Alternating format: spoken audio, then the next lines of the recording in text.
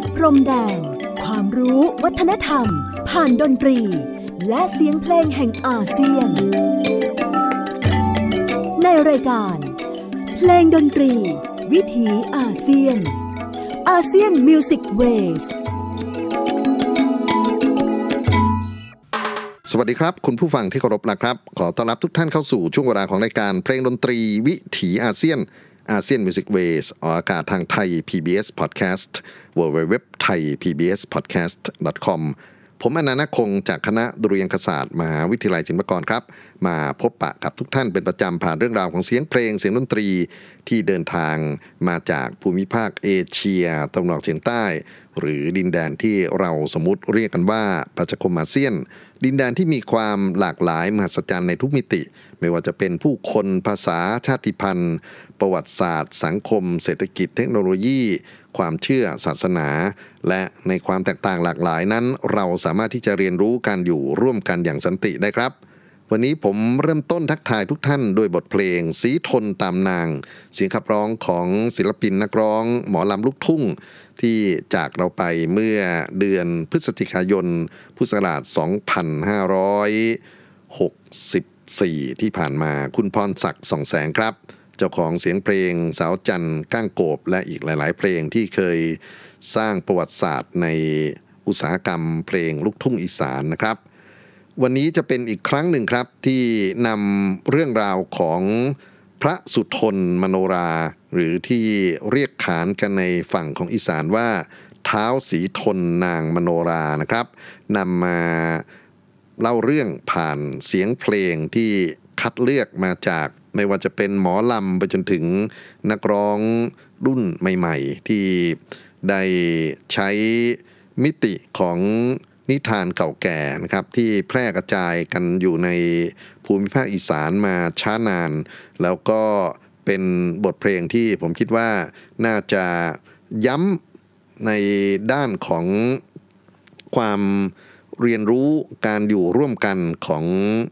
วัฒนธรรมที่มีความแตกต่างหลากหลาย ผู้คนที่มีความแตกต่างหลากหลาย ตัวเท้าสีทนเอง หรือพระสุทนเอง ซึ่งเกิดมาเป็นมนุษย์ และนางมโนราที่เป็นเรียกว่ากินรีนะครับกินรีนั่นก็อ่ามนุษย์นั่นแหละก็คือมีเรือนร่างรูปร่างที่แตกต่างจากความเป็นคน ความเป็นมนุษย์โดยทั่วไป แต่ความรักอยู่เหนืออื่นใดครับ เขาพิสูจน์ตัวเองโดยการติดตามเฝ้าหาคนรักของตัวนะครับ โดยที่ไม่หวาดกลัวอุปสรรคใด ๆ เลย เรื่องเล่าของ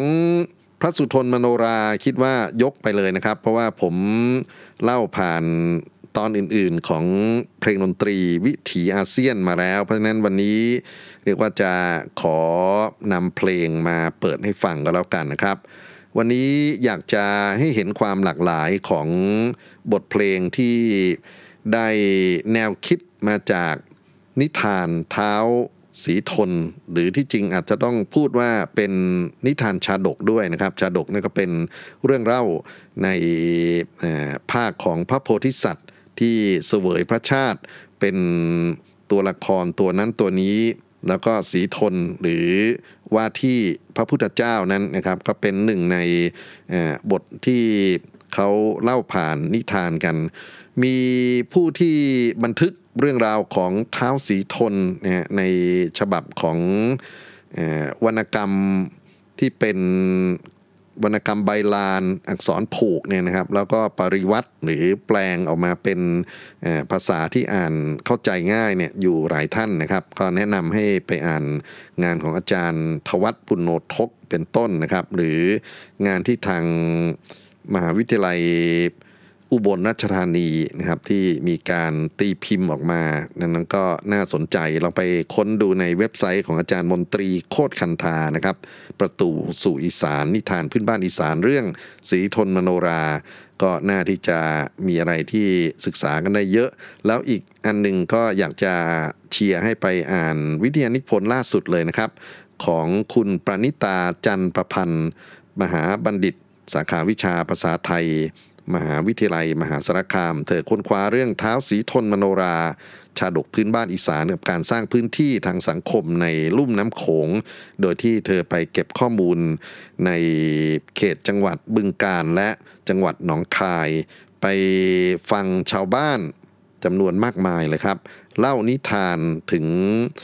ชื่อบ้านนามเมืองสถานที่ที่อยู่ในทั้งเขตบึงกาฬและหนองคายนะครับ ที่โยงกันกับ พฤติกรรมของเท้าวสีทนและนางมโนรา แล้วก็อธิบายว่าทำไมสถานที่นี้ถึงได้มีชื่อนี้ทำไมสถานที่ศักดิ์สิทธิ์ตรงนี้นะครับ ชาวบ้านถึงได้เคารพกัน นั่นก็เป็นอิทธิพลครับของเอเรื่องของชาดกพื้นบ้านกับ การสร้างพื้นที่ในเชิงกายภาพ ในเชิงจิตวิญญาณเนะฮะจิตวิญญาณที่ว่านี้ก็เป็นเรื่องของความเชื่อไปจนถึงเรื่องของพุทธศาสนา แล้วก็พื้นที่ทางสังคมนะครับ ซึ่งทำให้เกิดชุมชนต่างๆขึ้น แล้วก็ส่งผลให้เป็นการส่งเสริมการท่องเที่ยวด้วย แต่เราตัดมาในฝั่งของดนตรีและนาฏศิลป์ครับ สีทนมโนราทำให้เกิดการสร้างสรรค์มากมาย ซึ่งเราจะเริ่มต้นนับหนึ่งนะครับ ด้วยหมอลำศิลปินแห่งชาติพ่อเคนดาเหลาครับ เป็นหมอลำจากอุบลราชธานีนะครับ ที่ได้รับการยกย่องว่ามีความโดดเด่นในเรื่องของกรอนลำลีลาจังหวะที่ใช้ในการขับร้องแล้วก็ภาษาที่ลึกซึ้งกินใจผู้ฟังเป็นอย่างยิ่ง มีลูกศิษย์มากมายที่ต่อมาก็เติบโตมาเป็นศิลปินแห่งชาตินะครับ เช่น คุณแม่บุญเพ็งไผ่ผิวชัย ซึ่งคนนี้ก็เป็นคู่สมรสด้วยนะครับ แล้วก็คุณแม่ชวีวันดำเนิน วันนี้ครับเราจะมาฟังตัวอย่างสั้นๆ จากพ่อเคนดาเหลาเล่าเรื่องเท้าสีทนและนางมโนรา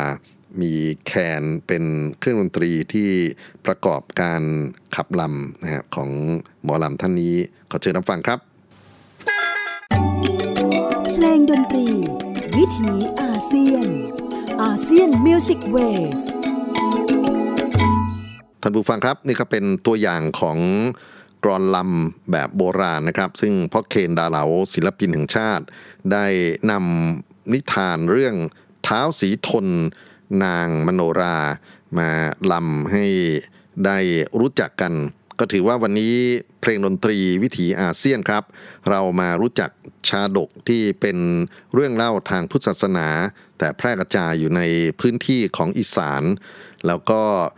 ส่งผลให้เกิดการสร้างสรรค์ในโลกของหมอลำนะครับ มีกรอนลำหลายสำนวนแล้วก็มีวิธีการขับลำเนี่ยหลายสำเนียงที่ เป็นสิ่งที่เราน่าจะไปศึกษารายละเอียดกันครับ จากพ่อเคนดาเหลาคราวนี้มาถึงอดีตนางเอก หมอลำลังสีมัน เธอเป็นศิลปินแห่งชาติในภาคของหมอลำลูกทุ่งอีกคนหนึ่งนะครับ คุณบานเย็นรากกัน ผมเลือกเอางานตอนหลังที่เธอมาบันทึกเสียงกับ อาจารย์ดวงวังสาลุนหรือหมอลำดวงจันน้อย ซึ่งก็ถือว่าเป็นหมอลำที่สร้างผลงานให้กับหมอลำอีกจำนวนมากมายเลยทีเดียวนะครับ เป็นนักประพันธ์เพลง หรือนักประพันธ์กลอนลำที่มีบทบาทในสังคมหมอลำเป็นอย่างยิ่งทำนองลำที่เราจะฟังลำเรื่องสีทนมโนราของแม่บานเย็นลากแก่นนี้ เป็นทำนองที่เรียกกันว่า ลำวาดอุบลมาฟังนะครับว่าจะมีลีลาอย่างไร แล้วก็จะมีการออกลำเพลินตอนท้ายๆนะครับ ซึ่งก็เป็นทำนองลำที่มีจังหวะกระชับ มีลีลาที่สนุกสนานขึ้นนะครับ รับฟังกันครับ เพลงดนตรี วิถีอาเซียน ASEAN Music Wayสลำกลอนเรื่องสีทนมโนราครับ อาจารย์ดวงจันน้อย หรือหมอลำดวงวังสาลุนผู้ล่วงลับนะครับ ได้บันทึกเสียงร่วมกับคุณแม่บานเย็นรักแก่น ศิลปินแห่งชาติ ฟังลูกคอของบานเย็นรักแก่นนั้นโอ้โห เรียกว่านี่คือเพชรเม็ดงามจริง ๆ นะครับแล้วก็สวยด้วยนะครับบันเย็นรักแก่นนั้นมีทั้งเสียงมีทั้งรูปนะฮะแล้วก็ที่สำคัญก็คือความคิดสร้างสรรค์ในเรื่องของการประดิษฐ์ ท่าลำท่าฟ้อนไปจนถึง costume เนะฮะท่าไอ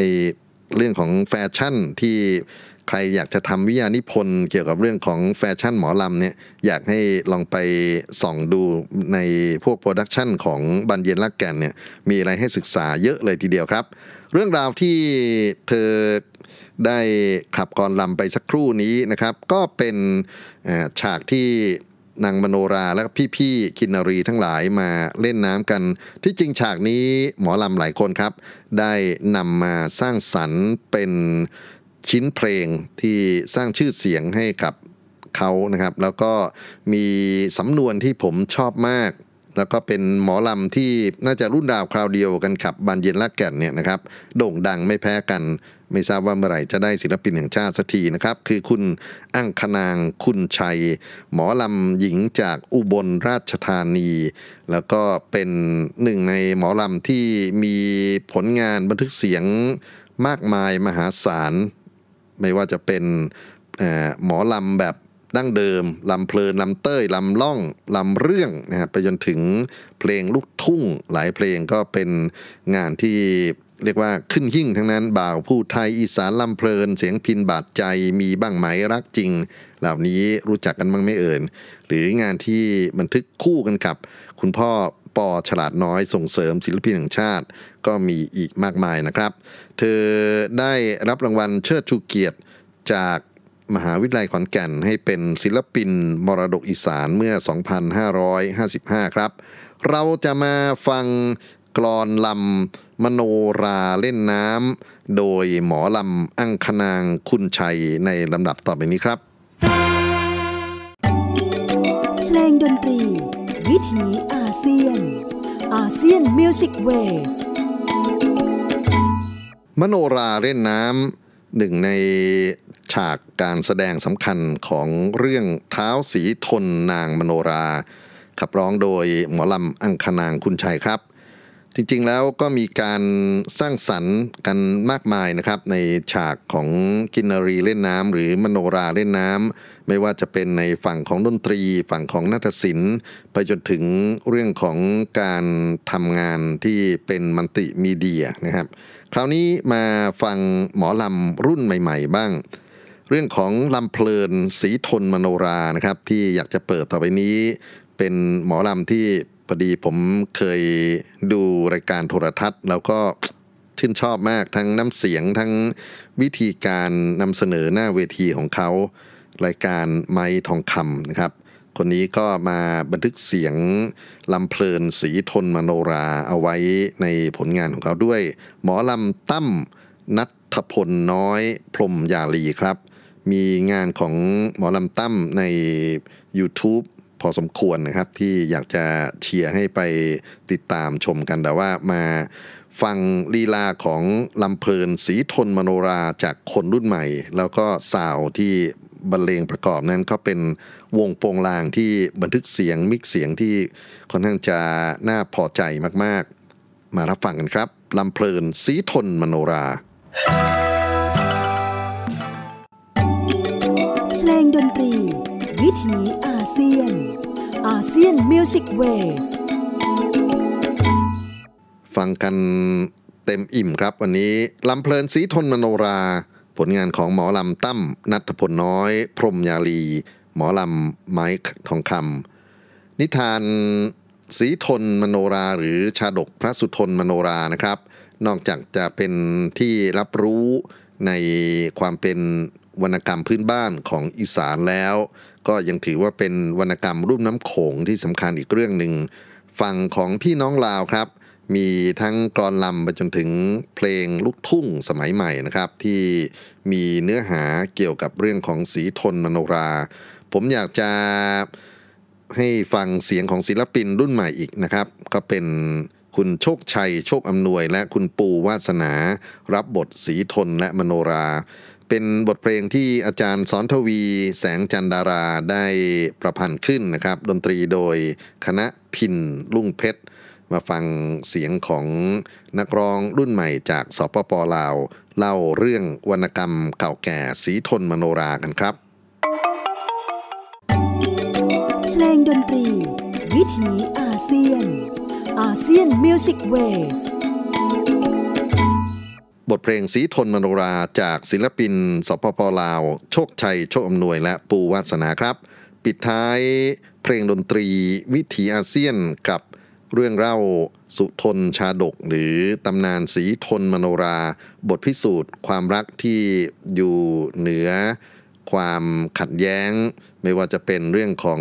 เชื้อชาติ ไม่ว่าจะเป็นเรื่องของอุปสรรคใด ๆ ก็ตาม เราเปิดหัวใจในการ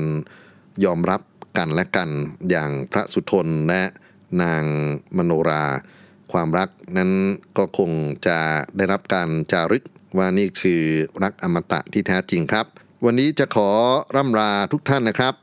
ด้วยบทเพลงฮักบอดจางเจ้านางมโนรา ซึ่งเป็นผลงานใหม่ของค่ายฮักดีเรคคอร์ดเมื่อปี 2564 ที่ผ่านมานี่เอง ศิลปินรุ่นใหม่ครับ นิวมุกดา และคุณน้ำอ้อยสมใจรัก ร่วมกันขับร้องเพลงนี้เป็นผลงานของทอนทุ่งฝน และเรียบเรียงดนตรีโดยสวัสดิ์สารคามลำลาทุกท่านไปพร้อมกับความรักอมตะของพระสุทนและนางมโนราที่อยู่เหนือความขัดแย้งใด ๆ ขอสันติจงมีแด่ทุกท่าน สวัสดีครับ เพลงดนตรี วิถีอาเซียนอาเซียนมิวสิกเวส